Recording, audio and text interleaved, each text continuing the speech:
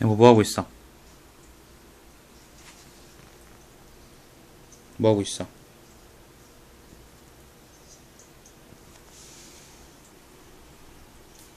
목욕하고 있어?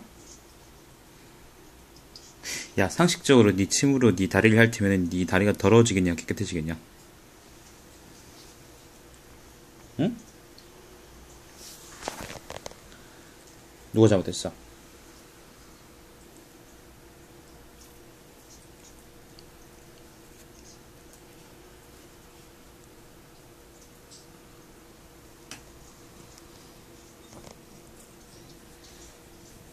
누가 잘못했어?